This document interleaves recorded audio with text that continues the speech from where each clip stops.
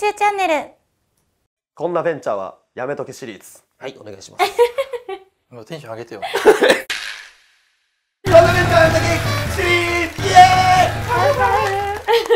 イ!はいお願いします、はいついにラストです。おラストですか。悔やまれてますが。ああ残念です。皆さんから16個目。社長がワンコインランチの画像をインスタに上げてる。おおコインランチ。まあ要は何が言いたい？安いって言って喜んでる社長。社長やったらいそうですけどねそのお金に貪欲に突き詰めてるみたいな人。無理でしょ。ケチが嫌なんだ。無理ですか？うん。そのこのランチは安いって言って700円を500円とかに値下げして喜んでる社長が何億とかの会社を伸ばしていけるイメージがさっぱり湧かないよね。さっぱり。これはもう本当ごめんなんだけど、はい。うん。社員とかも見てるわけじゃない。はい。SNS って。うんで社長がワンコインランチ食ってたら夢なくない？そこの見せ方も考えないといけないよねみたいな、うん。まあ、もちろんそれでねもっと苦しくなったら意味ないんだけどうん。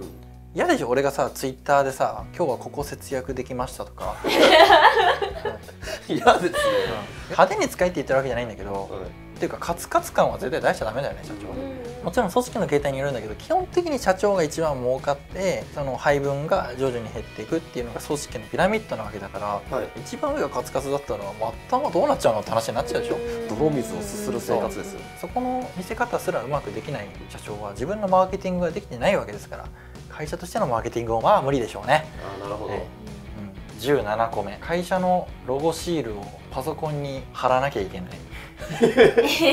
貼らなきゃいけない続けていきます。18個目。集合写真撮るときに決めポーズがある。あこういうやつですか？わかんないですけど。これは実際それをやって伸びてる会社もいっぱいいるんでこんなベンチャーやめろには正直入んないんだけど個人的には寒いなって思っちゃうんで、うん。寒い。俺がストックさん株式会社とか年収チャンネルのシールを作ってはい。山本君にパソコンに貼れって言った時はもう末期だと思ってください、う んまあ今のもねだいぶ多くの経営者を敵に回した可能性が高いけどうん。俺は寒いなと思っちゃうんで。あーなんか慣れ合いとかがだから嫌いなんですよねうん慣れ合い慣れ合いなのかなそれは、うん、あのそんなさシールなんかなくてもさ心でつながってればいいじゃんって思っちゃうよね。おおもっと言いたかった。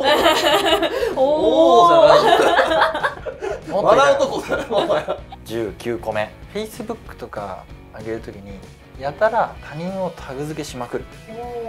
いるよね。うんわかるわかる。ダメだね。もまあ一言で言うとタグ付けされる側になるよって話なんだけど、うはい。社長が人脈だったりとか交友関係をアピールするのってちょっと痛くないみたいな,、うん、なんか憧れられる側になるべきなのにはい。そのなんかそこの器がないからこの人と会ったこの人と会ったって言っていちいちタグ付けしてるのはちょっと痛いなって思っちゃう。うん、俺はちょっと陰キャラなんでそういうふうに思っちゃうんで、まあ、陽キャラの人、ほまあウェイっつってこう上げてウェイってやってりゃいいんだけど、どはい。悪意ある今の。自分を大きく見せたいのかなみたいな情けないなみたいな器ちっちゃいのかなって思っちゃって。器ちっちゃいっていうのは要は会社がその器以上に大きくならないってことだから、はい。うん、伸びないだろうなみたいな。言わしない痛くないキモくないみたいなでしょって無理やりこうやって言わしてるけど、社長の圧がはい、20個目女の口説き方がキモいそれもうわからないんじゃない口説かれたんですか俺はどうなんだって話はもう本当に棚にあげるよまあケイちゃんの人たちとこう飲むと女性がいることが多いよねやっぱ機会としてね人それぞれ口説き方ってまああるわけじゃないですかはいこれは言いなこの人っていう口説き方をする人はやっぱね一定数いるのよ。ちょっとモノマネするの恥ずかしいんだけどなんかこう「美咲ちゃん可愛いみたいな言う人とかね。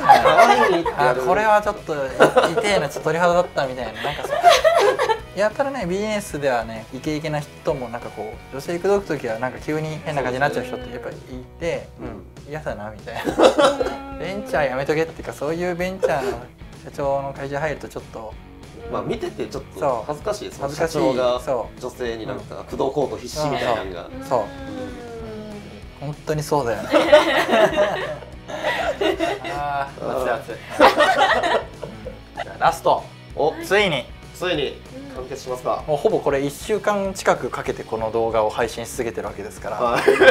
ついにラストです。すいません。長々と。社長の経歴が長々とコーポレートサイトホームページに掲載されてる。おおー、まあ、ありますけどね。あるよね、はい。うん。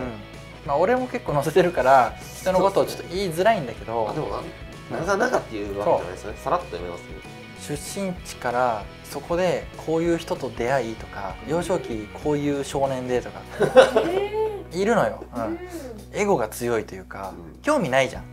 別に見てんのこっちだから向こうに別に非はないんだけど、はいお前の幼少期誰も興味ないじゃんみたいな、はい。で俺らが思うことに気づけてないのが結構センスないなと思った要はなんかそのこのウェブサイトを見た時周りの人がどう思うのかっていうのをある程度想像できるような人じゃないとマーケティングもうまくいかないし、はい。商売ってうまくいかないじゃない。人からどう見られてるかっていうのがこう俯瞰的に見れる人じゃないとはい。商売できないわけだから、うんうんだから社長の経歴が長々とあのストーリーベースで書いてあったらその会社はやめときましょうと。はい。まあ、どうしても書きたいっていう社長さんはあの幼少期はこちらとか言ってリンクしていいかもしれないですね。うん、そうだね、うん。はい。はい。じゃあちょっと長々とお付き合いいただきまして。はい。い。っぱいあった悪口大会でしたね。うん。はい、はい。そんな感じでじゃあもうちょっと次から悪口はしばらく控えようと思うんで、はい。できるかな、じゃあ本日はここら辺でありがとうございました。年収チャンネルでは年収ガイドブックを視聴者皆さんにプレゼントしています。随時更新中です。これはめちゃくちゃ役立つからね。見てね。